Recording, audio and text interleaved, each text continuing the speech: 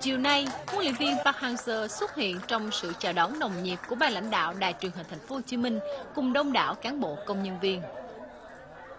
Trong cái chương trình ngày hôm nay thì vốn dĩ là tôi thì ờ, đi ờ, gọi đi ờ, xem cái trận đấu chiều nay ở cái giải vô địch quốc gia để chúng tôi tìm cái cầu thủ cho đội tuyển quốc gia.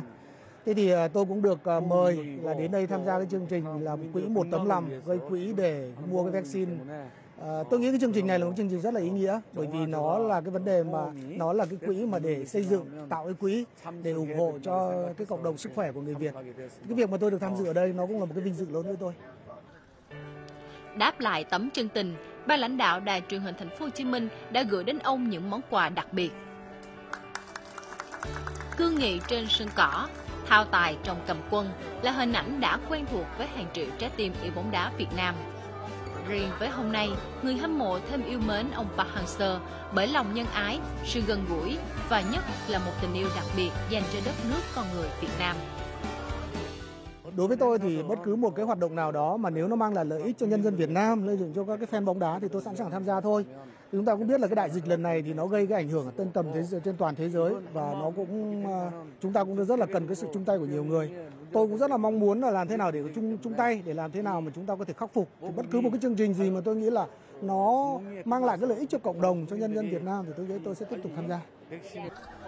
Trong khoảng thời gian ngắn ngủi trực tiếp có mặt tại đài truyền hình Thành phố Hồ Chí Minh ủng hộ quỹ chung một tấm lòng,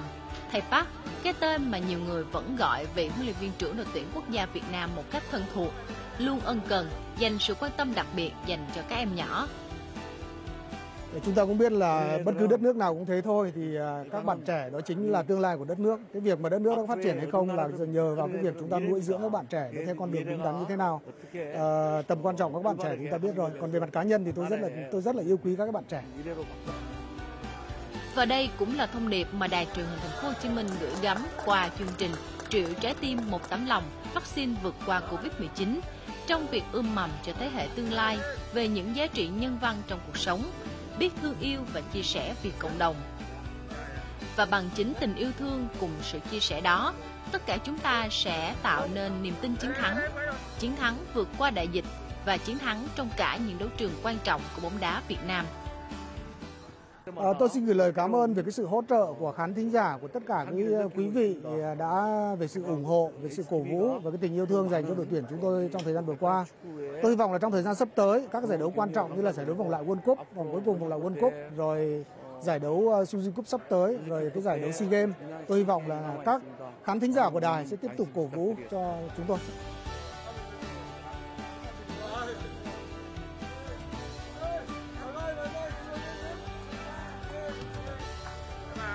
Và chúng tôi hy vọng là với sự xuất hiện của huấn luyện viên Park Hang-seo thì à, ngày hôm nay sẽ giúp cho quý vị có một cái góc nhìn rất là khác về những hoạt động thiện nguyện cũng như hoạt động cộng đồng của huấn luyện viên Park Hang-seo ở bên ngoài bóng đá và hy vọng là những hoạt động của ông sẽ tiếp tục truyền cảm hứng cho quý vị để quý vị có thể cùng chung tay vào một chiến dịch rất là đặc biệt như thế này.